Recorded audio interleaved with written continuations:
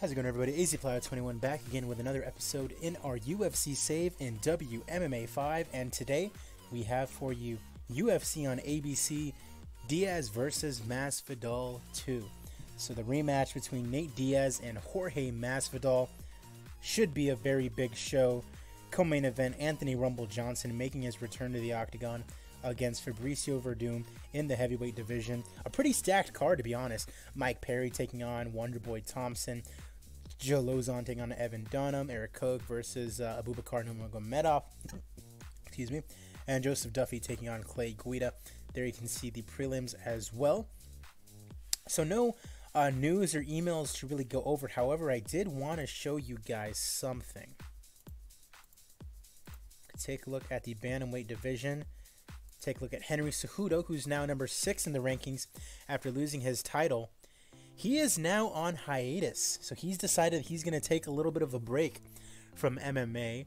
For how long, I do not know, um, but that is where we are at currently with Henry Cejudo. I was thinking about maybe doing him versus Dominick Cruz, or maybe him versus Dillashaw when he returns, but now there's nothing for Cejudo to do because he's not with us right now. So that sucks, but it only makes it even more clear that Moraes will be fighting Yan for the bantamweight title in the near future. So that is the current plan right now, and um, yeah, that's what we got going on. Um, everything else is taken care of. All the uh, all of the uh, broadcasters are sets and whatnot.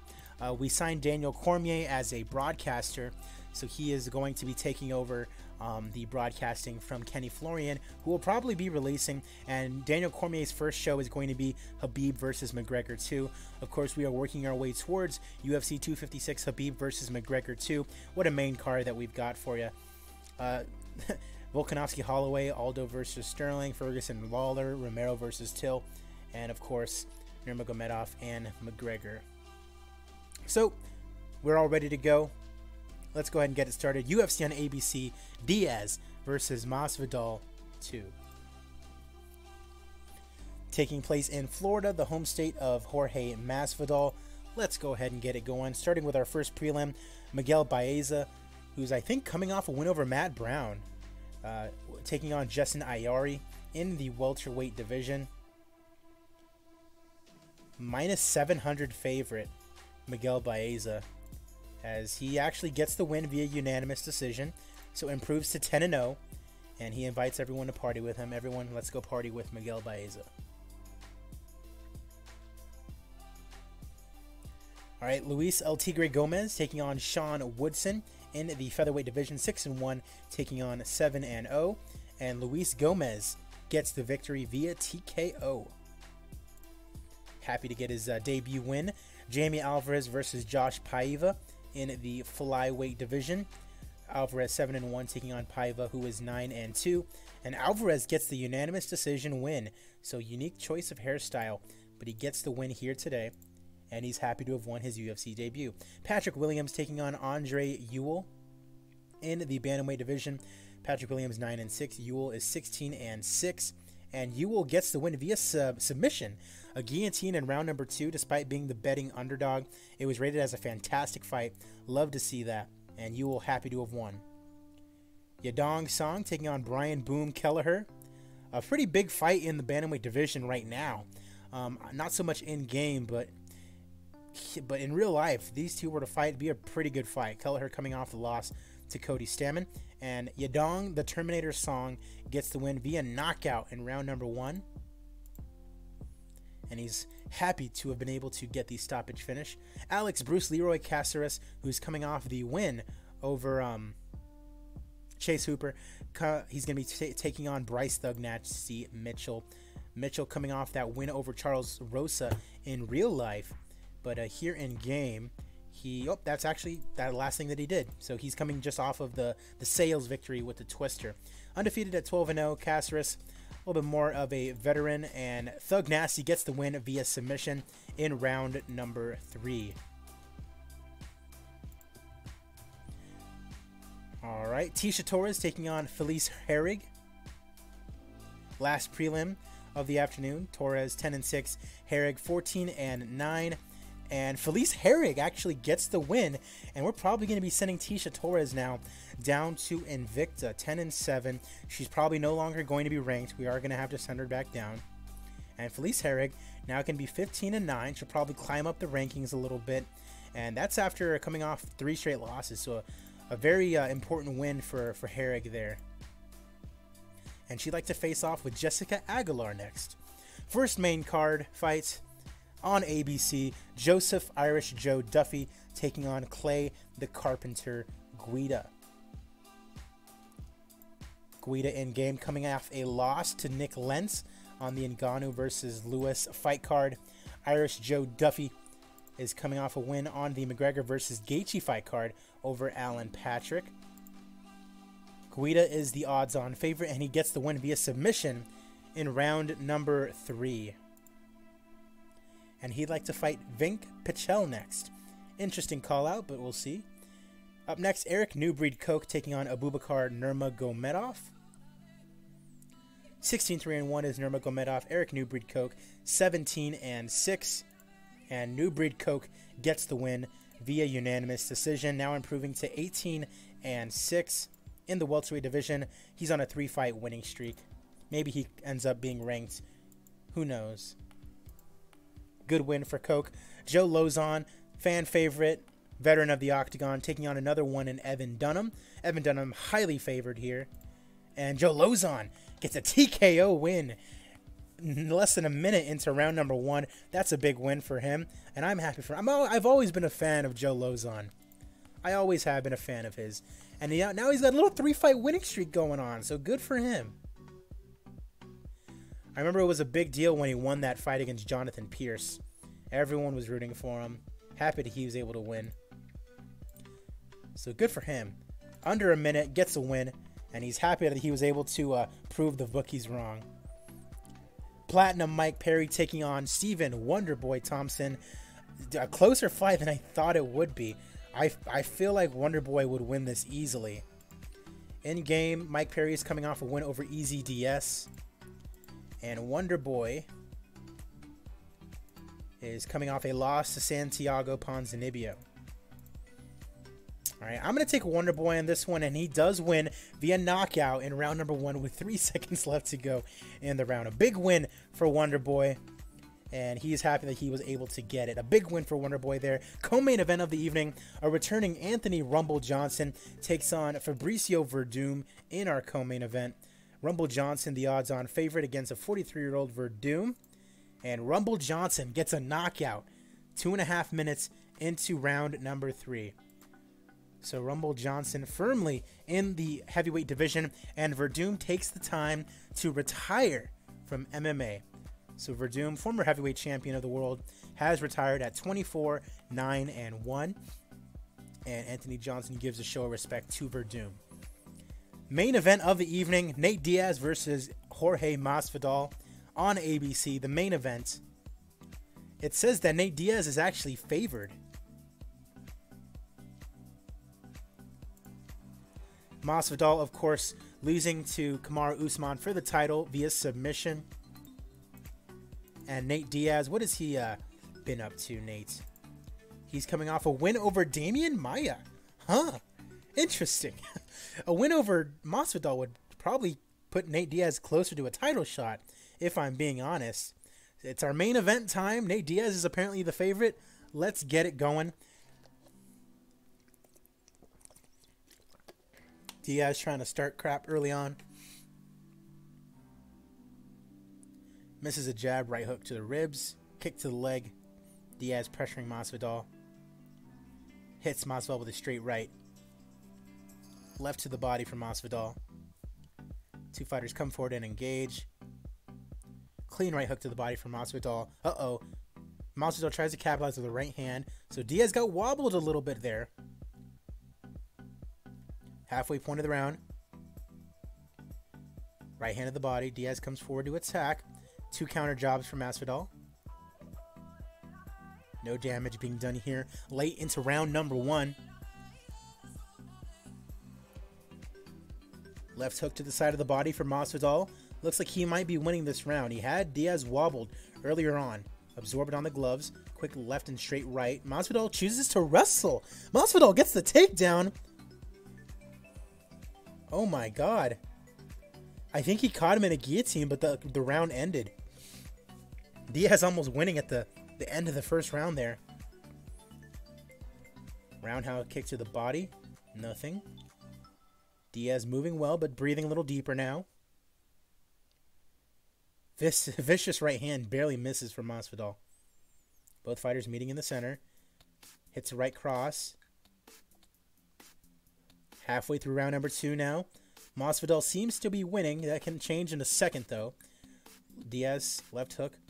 Diaz has a cut under his eye now. That's how the fight got stopped the, the, the previous time.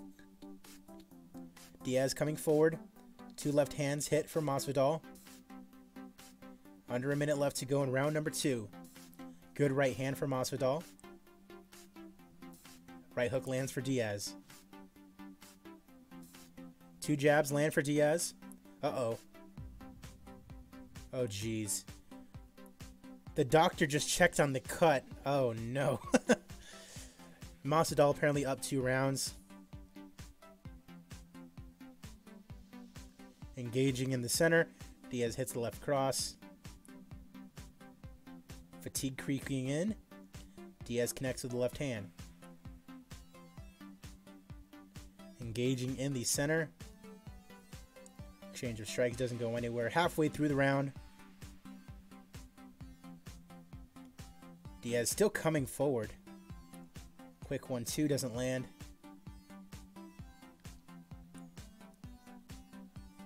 Right hook. Connects cleanly with the right hand. Masvidal slowing down a bit. A little more than halfway through round number three. Diaz looks very tired out there. Lead leg kick. Under a minute left to go in round number three. Masvidal firmly ahead on the scorecards.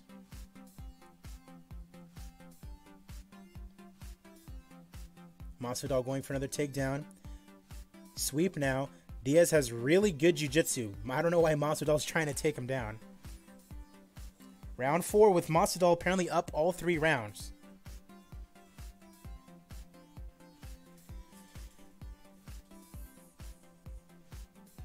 Diaz moving around the cage.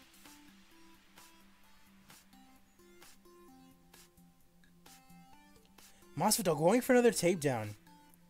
I don't know why he's doing that. Diaz can submit him from the ground.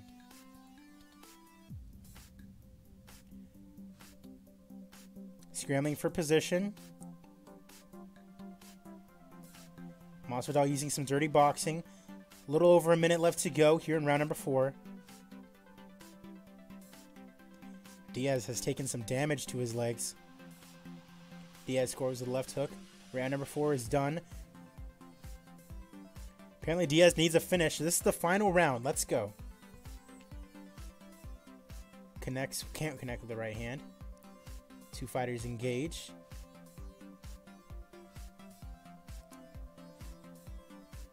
That cut has been reopened. Diaz tries to use a takedown. He can't get it. Masvidal now trying to sweep. Nothing but pull guard. I don't know why. I still don't know why Masvidal is trying to take him down. Diaz can finish him from the bottom, but only a minute left to go now in the round, and time is ticking away. Referee stands them back up. Diaz connects with the left hand. And that's it. I think Jorge won this by a landslide. Here comes my crappy Bruce Buffer impersonation. Ladies and gentlemen, after five rounds, we go to the scorecards for decision. The judges score the contest 50 45, 50 45, and 49 46 for the winner by unanimous decision, Jorge Gamebred Masvidal. So Jorge Masvidal beats Nate Diaz via unanimous decision, no stoppage. Unanimous decision. Fight was only rated as being decent. Interesting a good talker, Jorge Masvidal, always going to be benefited. So he doesn't call anybody out, but he gets the win over Nate Diaz the right way this time. Attendance of 4,000. Not a great gate, but that's because this is a lesser show. All right. Popularity increases all around. You love to see that. Let's see now. Fight of the night is going to go to that prelim fight. That's fantastic. Ewell and Williams. And let's see. Joe Lauzon gets a performance bonus. And, uh, see anybody else? Wonder Boy. Yadong Song, first round knockout. And Yadong Song is going to get one as well. Nice profit of 2 million. You like to see that. Go ahead and update our rankings, take a look at our emails, and then we will be done with this episode. Our next episode, I think, is the uh, Esparza versus. Uh, what is it? Why am I forgetting her name?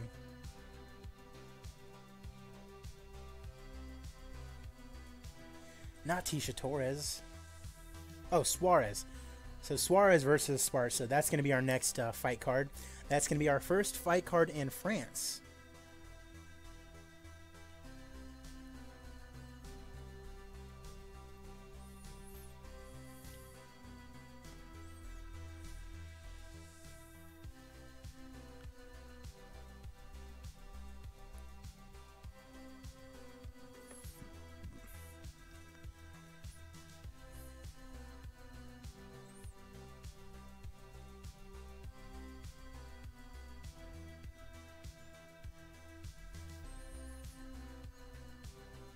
Anthony Johnson getting a big win. Fabricio Werdum retires.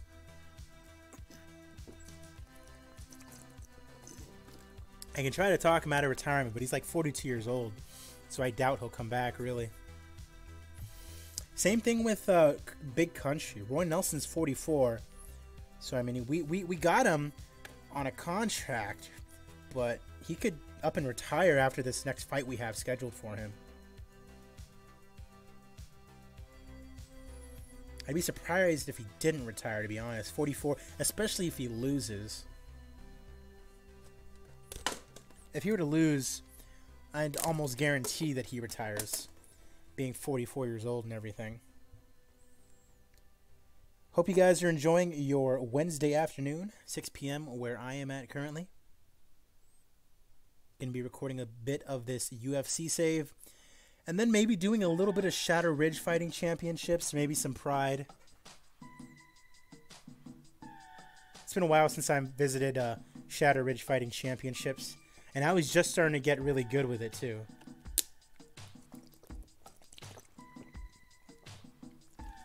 Made a couple pretty big signings. Only thing is that it takes forever to kind of, you know, simulate through and then having to constantly look through. All right, so let's update our rankings.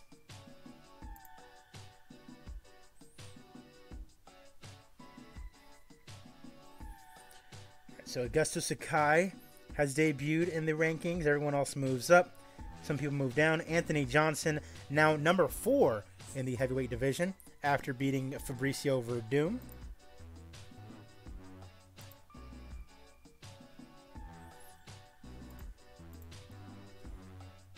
Right.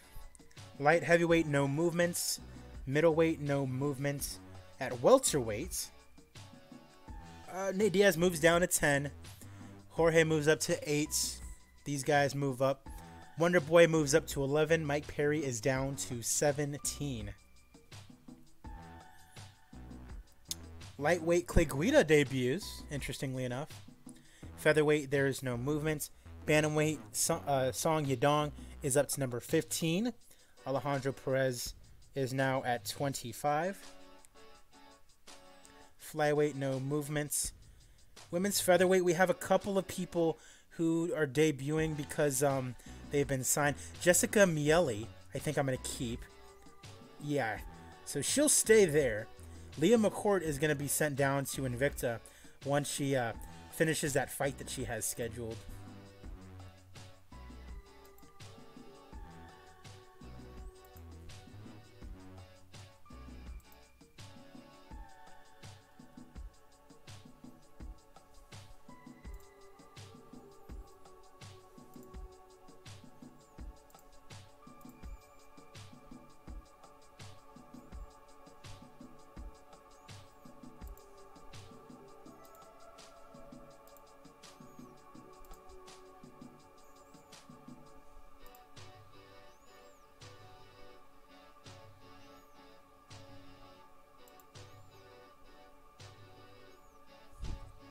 Okay. Uh, so let's check the rankings once again. I got thrown off by Spencer being available. Uh, Bantamweight, Holly Holm has re-debuted, which is good. She has a fight tentatively scheduled uh, against Marion Reneau, and she's back in 14 days. That's good. Uh, Sara McMann comes back. Landsberg comes back. That's all good. Flyweight, no one moves. Strawweight, Felice Herrig moves up. Alexandra Albu debuts, and um, we are going to have to send down Tisha Torres. So Henry Cejudo has signed his deal. He signed his contract extension, but he's still on hiatus. That's uh, very confusing. Evan Dunham needs to be re-signed. Do we re-sign him? What has he been up to? Low level national. I mean, yeah. Low level national, but we could still use him. Give him 7k.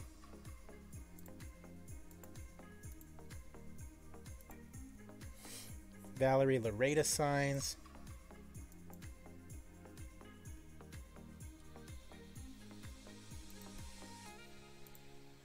Uh, David Dvorak, Justin really signed. Tiffany Van Soest needs to be sent down. Joe Lauzon needs to be re-signed. Let's take care of that. High level national for Joe Lauzon.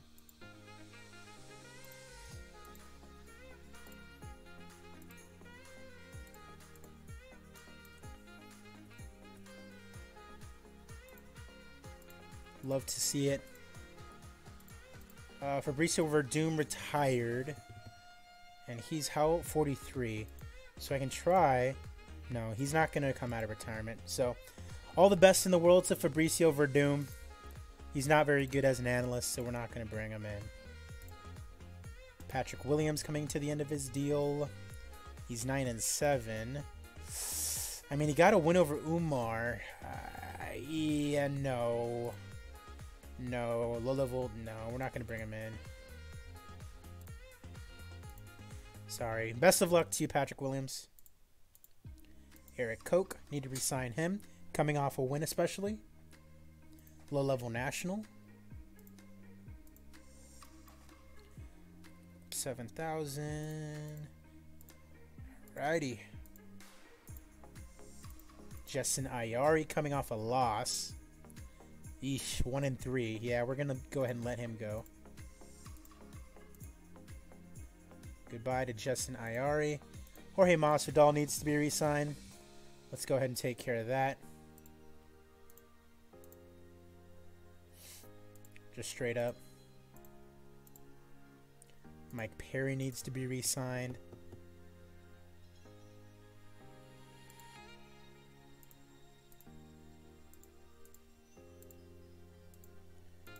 Love that.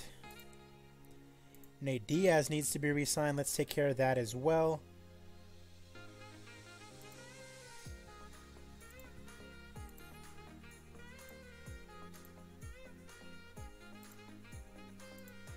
Huh.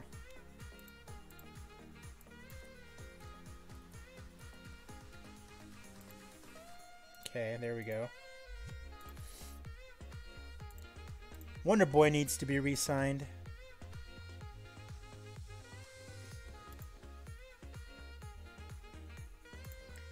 That's all good.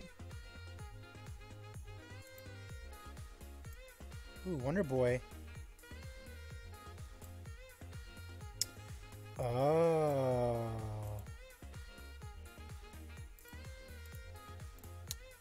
I see you, Wonder Boy. Let's, uh... Let's do this. How about this? Alright, I see you. Uh, I, hey, I want to fight, so give me a little little pay raise. I see you. Andre Ewell. Go ahead and resign him as well.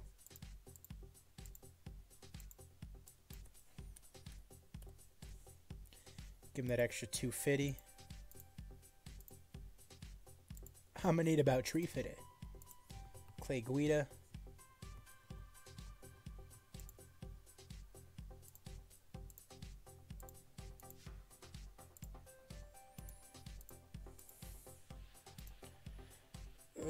Fox Sports Australia, ESPN UK, Azteca Trece.